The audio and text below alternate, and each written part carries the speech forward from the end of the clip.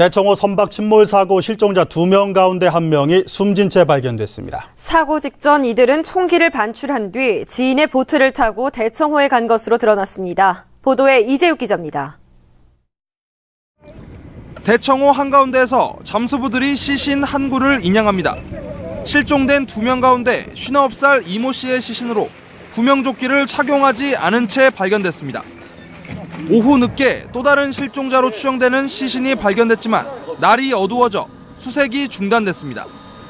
구조된 유해 야생동물 피해 방지단원 2명은 경찰지구대에서 유해동물 퇴치를 목적으로 총기 두 정을 반출해 지인의 보트로 대청호에 나갔다가 변을 당했습니다. 말도 없이 그냥 가져간 거야. 대청호에서 배 띄우는 것도 불법이고 우리 농순인데 어, 못 띄우게 하지 그거를 누가 띄우게 해. 유해동물을 잡기 위해 포획 허가구역을 벗어나 배를 타고 대청호에 나서는 등 이들의 행적은 의문투성입니다.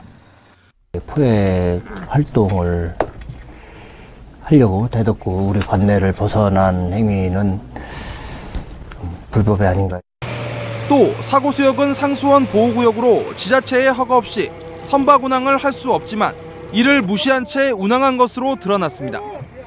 경찰은 생존자와 선박 소유주 등을 불러 사고 경위를 조사했으며 소방당국은 날이 밝는 대로 실종자 수색을 재개할 계획입니다.